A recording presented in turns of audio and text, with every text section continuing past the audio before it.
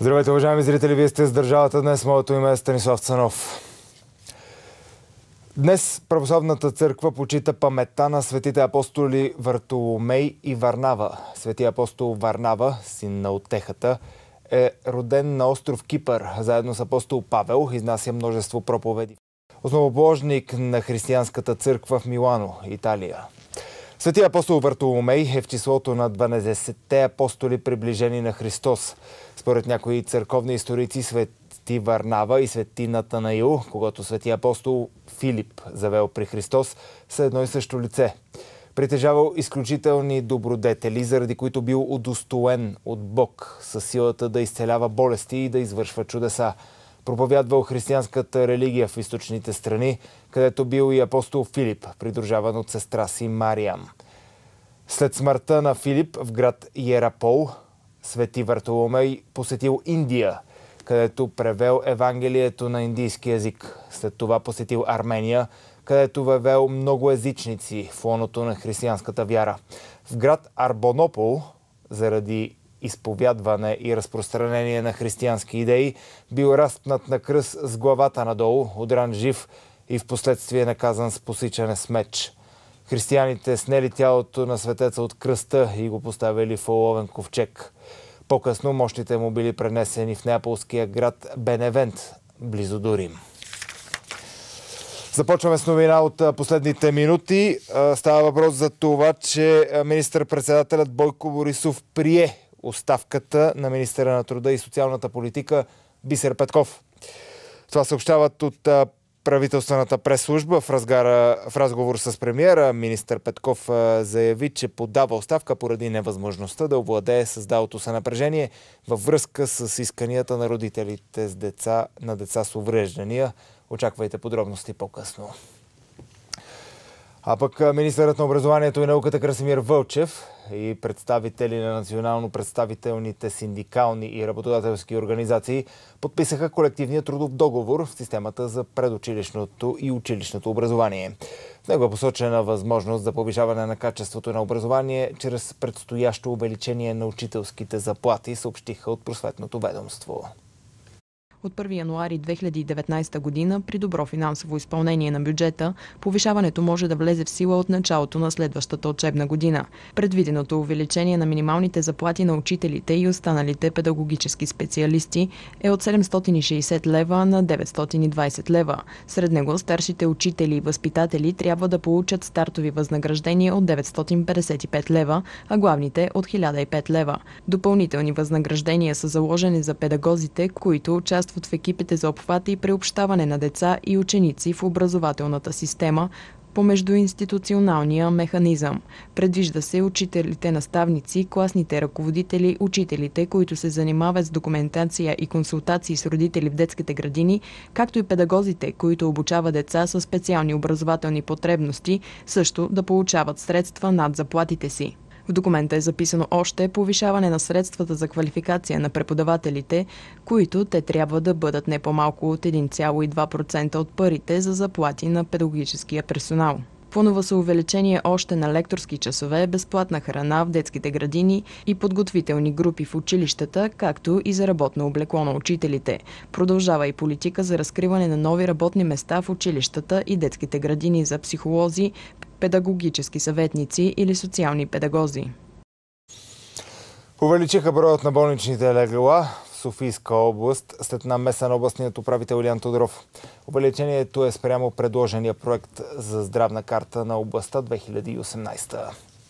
В публикуваната областна здравна карта интензивните легла са увеличени с 5 броя, терапевтичните с 10, хирургични, хирургичните с 40, а легла за рехабилитация с 5 броя спрямо предвидените в проекта за здравна карта на областта.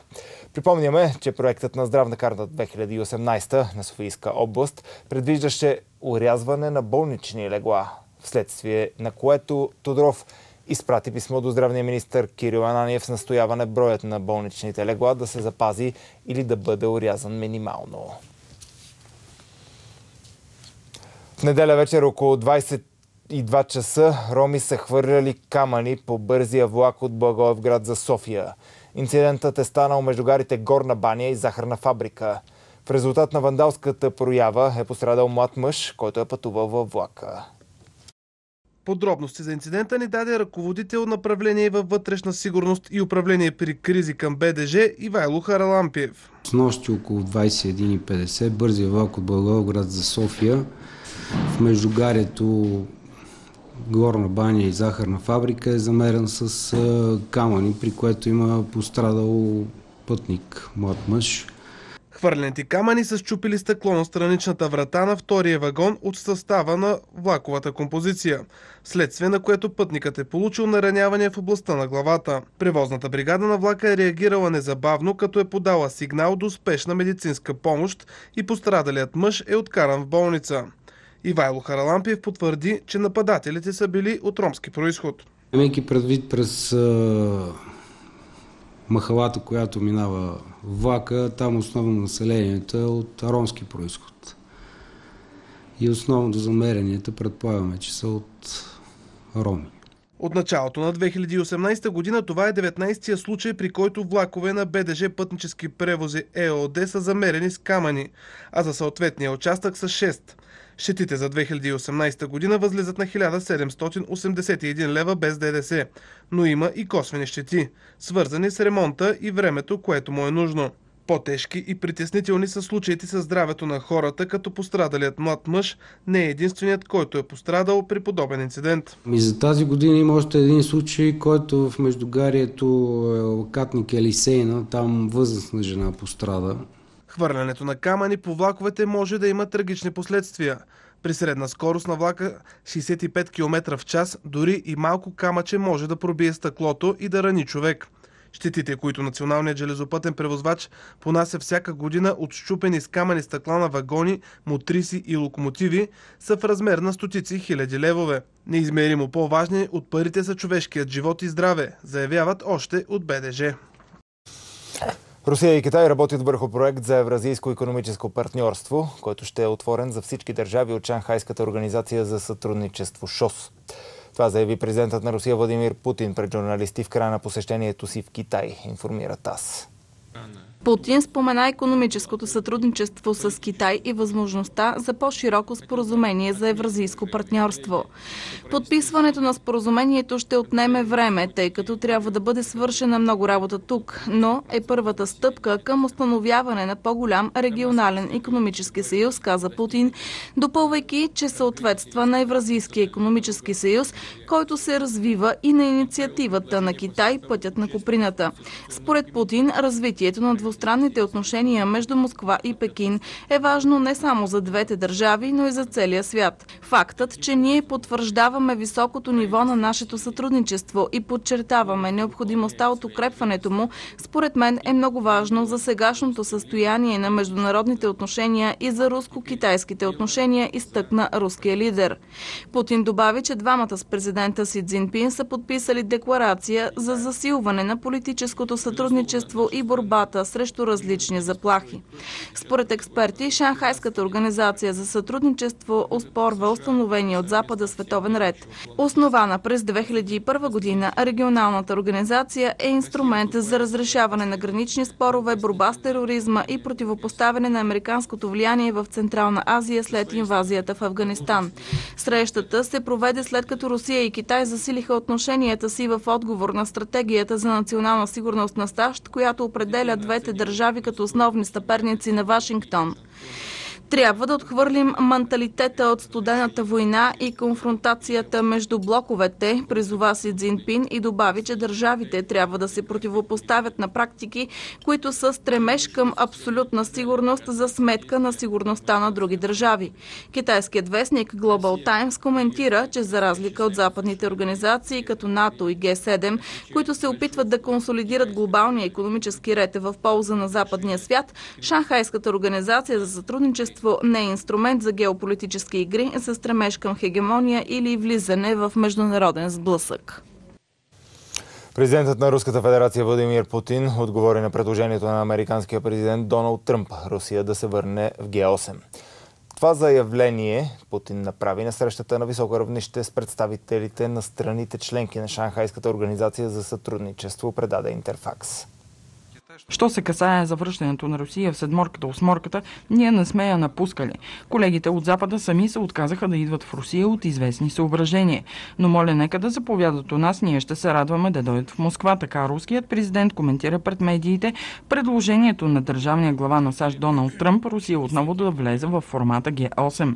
Путин отбеляза, че страните от ЧОС вече са изравнени и дори са започнали да изпреварват членовете на Г7 с паритет на покупателната способност, за което свидетелстват данните на Международния валутен фонд.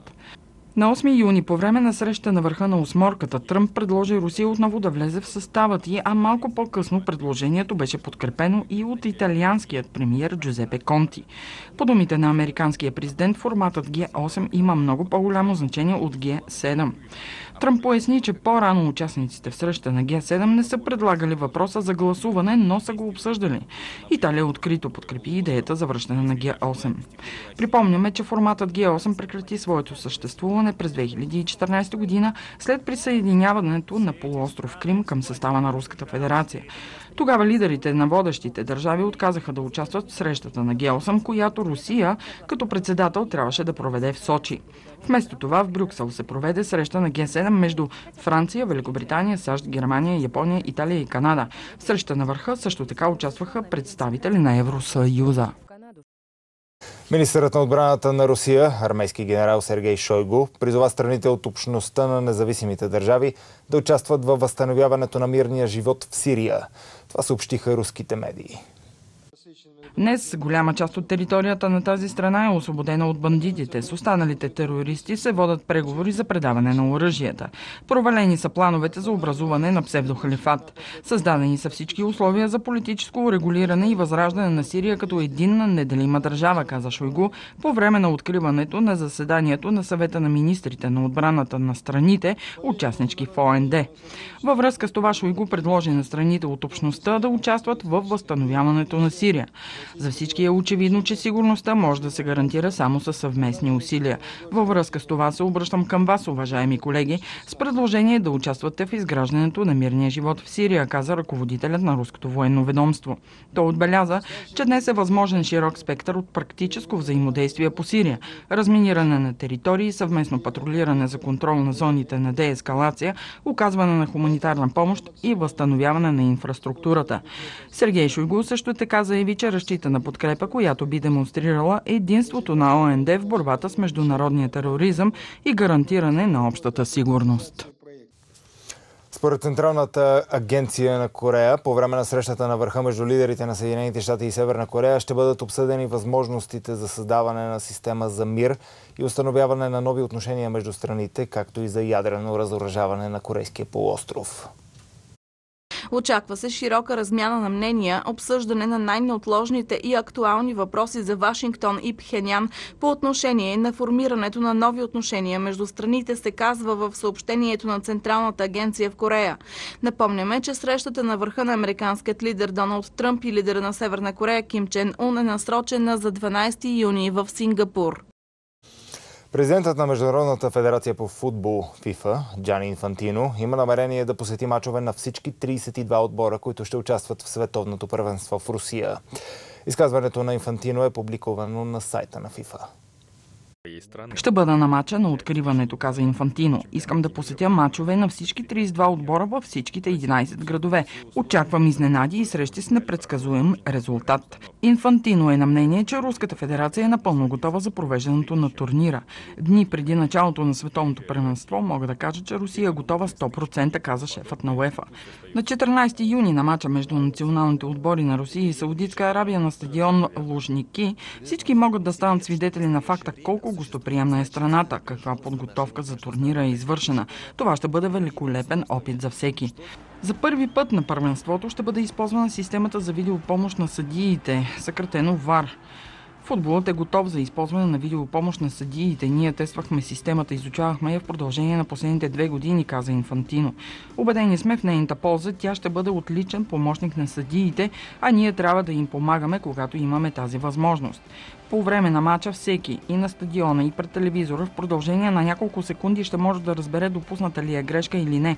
А грешка винаги може да се случи и всички сме хора. Въвеждането на ВАР системата ще добави повече справедливост към играта. Припомниме, че мачовете от Световното първенство по футбол в Руската федерация ще се състоят от 14 юни до 15 юли тази година в 11 руски градове. С общо 24 медала, нов рекорд и невероятен успех за България завърши мултиевропейското първенство по таеквондо, което се проведе в Пловдив. Последния ден нови 7 медала прибавиха родните състезатели в категориите юноши и девойки, мъже и жени. След като в събота Олимпийското ни таеквондо би собствения си рекорд, в неделя окончателно затвърди позициите си на водещата таеквондо сила. Последния ден от надпреварата, зрителите в зала Колодрума успяха да се насладят на уникалната българска игра и успехи. За да подкрепят състезателите ни на трибуните беше най-голямата нежна гордост на България – диамантените момичета. Ансамбълът ни по художествена гимнастика насърчаваше таекондистите ни през целия ден на състезанието. Калуян Бинев позлати България в категория мъже до 63 кг след пет победни срещи и невероятен финал. По пътя към златото след първата служебна победа Као премина през представители на Македония и Турция в първите си две битки. На полуфинала Бинев срещна опонент от Русия, който въпреки силната си заявка не успя да надделее над нашето момче. Финалът на Коян срещу представители на Германия изправи цялата зала на крака. Въпреки догонването на двамата в точките през целия матч, 10 секунди преди края, немският национал водеше в резултата. Това стимулира Калоян и в финалните секунди с надмощи от две точки и резултат 11 на 9, Кало спечели единственото злато за България в категория мъже и жени. Сребърните медали дойдоха от Емилия Тасева от клуб Форс в категория девойки до 55 кг, Мари Илиева до 59 кг от клуб Тайкондо Фитнес, също отново при девойки и от бронзовия медалист от световното в Египет 2017 Кристиан Златев в категория плюс 78 кг от клуб Слум Крип Ботевград. Медалистът ни от световното първенство за мъже Владимир Далаклиев се впусна в битки въпреки тежката травма на коляното, която му бе нанесна на сериите Гран при в Рим. Влади победи в две поредни срещи след като завоюва бронзов медал за България, травмата на кръка му наложи да спре игра.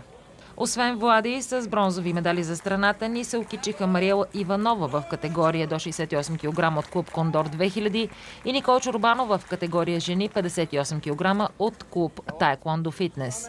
Мултиевропейските игри са първото по рода си европейско първенство, което е отворен турнир и право за участие имат състезатели от цял свят.